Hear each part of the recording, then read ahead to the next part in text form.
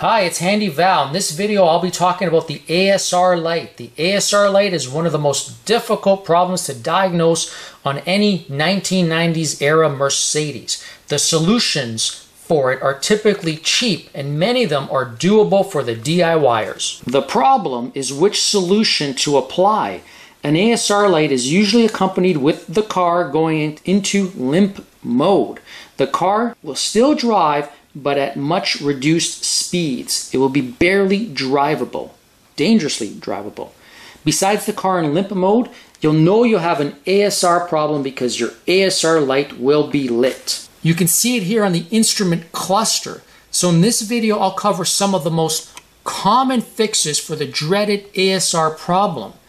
ASR stands for the acceleration slip regulation, sometimes also called anti-slip regulation, and it's really a different name for traction control. And we're all familiar with the term traction control as it's a common feature on almost all modern cars. The ASR, when working, provides better traction for when the car is losing control. And on these 90s Mercedes, it does this by reducing engine torque, and ABS also plays a part. It's this reduction in engine torque that is typically referred to as limp mode. ASR is something most Mercedes R129s were equipped with. I think the very first production year, 1990 and maybe 1991 model years did not have it, but most other models do have it. Any Mercedes with an M104 engine variant will also have ASR. So many W140s and W124s have ASR. An ASR light that has turned on may not always be something related to the ASR system, making it, as I said earlier, a tough beast to diagnose. Another thing to note about the ASR light, you may have it on, but you may not notice any drivability differences, but sooner or later you will experience the limp mode. Sometimes it can take minutes after you notice the ASR light lit and sometimes it can take years before the limp mode gets triggered. Limp mode means that the car isn't able to go over 40 miles per hour or about 55 kilometers per hour.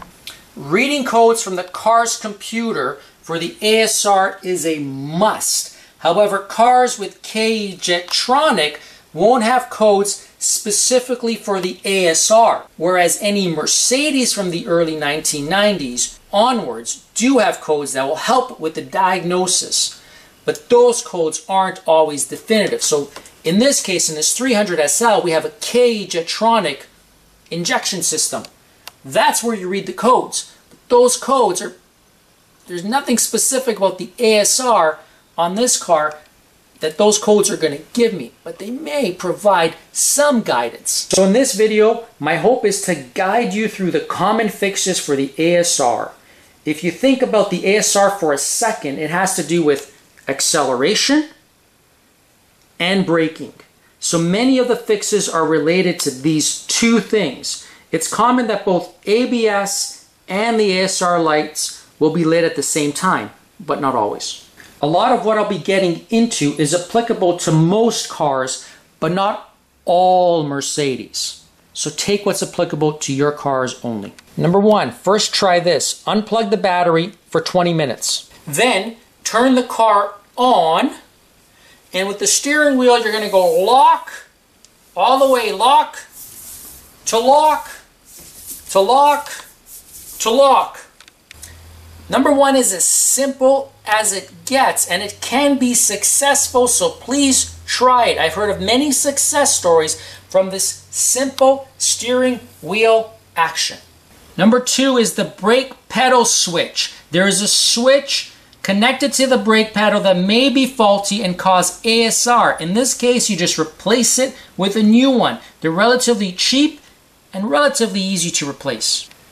Number three, attached to the braking system behind the brakes is an ABS sensor, sometimes known as simply the ABS sensor or speed sensor. The sensors can become dirty with metal shavings and may simply require a cleaning. There is a process to clean these. If the ASR only comes on after the car has started moving forward, like at about 5 to 10 miles per hour, then this could be your problem. If the ASR light is always on, then the speed sensor very likely is not your problem. Number four, there is an ASR pre-charge pump. And it's either in the driver's side wheel well behind this plastic or underneath the brake fluid holder. This pump works with the brake fluid. The pump has a few metal gears that over time can get gunked up. This doesn't mean you need a new pump. The pump just needs to be removed, opened, and the gears cleaned. It's a messy job as you're dealing with brake fluid. Number five, the electronic throttle actuator. This is a common problem in particular on the early 1990s V8 equipped Mercedes like the 500 SL. These throttle actuators can be rebuilt. They are expensive to buy new if you could find new old stock as I do not believe they may not make these any longer. Also related to the throttle actuator is the throttle potentiometer. The V8 potentiometer can go bad, but they're fixable. On the 300 SL, for example, the potentiometer is not something that's fixable. Number six, the accelerator cable, also known as the Bowden cable in some cars. Sometimes it loose where it has too much play or too tight and it isn't working as it should. You can try minor adjustments to it and see if the ASR goes away. Typically, it's in this, this area and you'll be able to see it removing the air filter, etc. on your version of the car. Number seven, if your Mercedes came with the biodegradable wiring harness, then it could also cause your ASR problem. So you'll want to be able to rule it out. An OVP overload protection relay can also cause an ASR light and the ABS light to turn on. The problematic OVP can cause other symptoms too. The OVP is typically situated in this corner. It's actually underneath this plastic here. And it's quite easy to remove. But first off, what you want to do before you even think about replacing it is just to check that the fuses in here are of working order and make sure that they aren't, they aren't broken. Number nine, the steering angle sensor may need replacement or fixing. This can be a problem if you have both ASR and ABS on.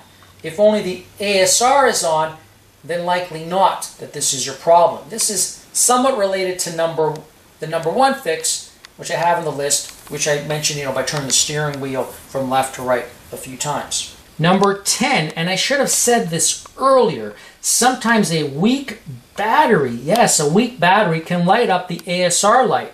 It's rare, but it's possible. You want to make sure you test the battery first and replace it if needed. A weak battery will cause a number of faults on any 90s era Mercedes. So always a good place to start when diagnosing anything, meaning is that battery still good? And sometimes it could be as simple as cleaning the connectors or that they're actually not tight enough as sometimes corrosion can build on them. The list I provided in this video is meant to be a guide. I point out that there's a few things that can make the ASR light turn on. If I were you and you have the ASR on, try the simple things on this list first and then take it from there. If you've had the ASR light on and fix it, let me know in the comments. I'd like to keep this video and its comments as a source for all of us in the future. It would be great for the Mercedes community to have such a handy reference on the ASR light.